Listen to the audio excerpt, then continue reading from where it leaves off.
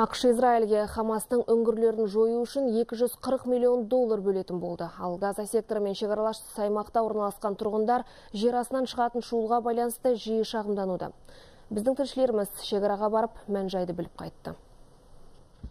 Мынау хамастың стратегиялық қаруы. Жерасты жолдарын ұйым осылай атайды. Оны салу да өте қиын. Құрылысқа қажетті материалдар израильдықтардың бақылауындағы газа секторы арқылы бақылау өткізу пунктімен өткізіледі. Дегенмен оған жұмсалған қаржы өзін ақтап отыр. Үңгір газа шекарасында тұратын еврейлердің зәре құтын қашыруда жер астындағы шуылды әр тұрғын жақсы біледі. Бұл жердегі халық израиль қорғаныс министрінен үңгірді жою жұмыстары неге нәтиже бермей жатқанын білгісі келеді. Өйткені бұл жерде күнде апат болады. Үңгірдің қабырғалары ауыр салмақты көтере алмай опырылып жатыр. Үйінді астында қалып жатқан құрылысшылар қаншама. Бір жағынан осы. Екінші жағынан хамас жетекшінің израильге жер асты арқылы шабуыл жасайтындықтары туралы мәлімдемесі үңгірді қиратуға түрткі болды. Екатерина сумарованың үйінің терезесінен бүкіл газаны бақылап отыруға болады. Оның айтуынша осындай қорқынышты жаңалықтан кейін тұрғындардың біразы басқа жаққа көшіп кеткен.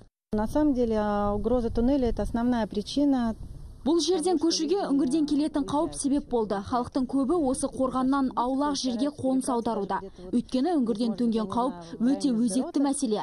Ол халықты күнделікті қорқынышта отыруға мәжбүрлейді.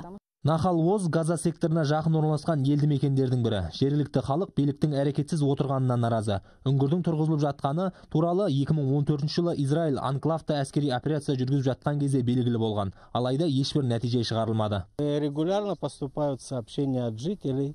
Жерді белсенді түрде қазып жатыр. Ол жерде жеті құрылысшы қаза тапқанын да білеміз. Бірақ жұмыс тоқтамайды.